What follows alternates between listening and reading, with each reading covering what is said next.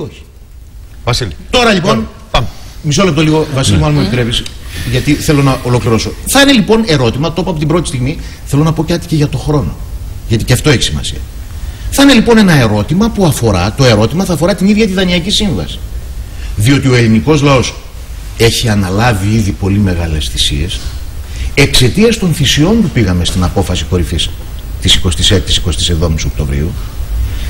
Καλείται με βάση το νέο πακέτο χρηματοδότησης να αναλάβει υποχρεώσεις που αφορούν την έξοδο από την κρίση αυτά όλα που τα ξέρει και θα τα ξέρει καλύτερα όταν σχηματοποιηθεί η Δανειακή Σύμβαση ο ελληνικός λαός πρέπει να κληθεί να τα αποφασίσει σε ένα Μα, κύριε δημοψήφισμα Καστανίδη, αν τα όμως, θέλει ο το κύριε Τερζή. διακύβευμα, ναι. Μια- θα, θα- θα είμαι στη διάθεσή σας αμέσως.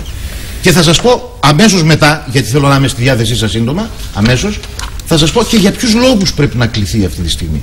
Τώρα, πότε θα γίνει το δημοψήφισμα; Αντιλαμβάνεστε και το είχα πει από την πρώτη μέρα ότι από τη στιγμή που θα έχουμε τη Δανειακή Σύμβαση έχουμε ανάγκη να κρίνουμε στις γενικές τις γραμμές έστω τη Δανειακή Σύμβαση θα πρέπει να περιμένουμε να σχηματοποιηθεί η Δανειακή Σύμβαση.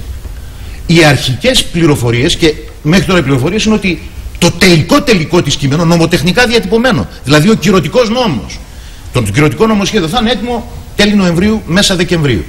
Εάν πράγματι συμβεί έτσι ο χρόνος θα είναι μέσα στο Γενάρη γιατί θέλει ένα μήνα.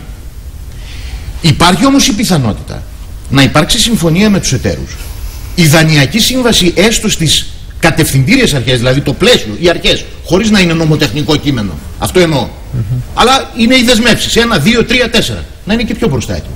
Υπάρχει πιθανότητα συνεπώς να γίνει και πιο μπροστά το Συγγνώμη, δημοψήφισμα. Μαρλένα. Εντός του Δεκεμβρίου. Επειδή μιλήσαμε παιδιά, για τα κύριε Τερζή. συμφέροντα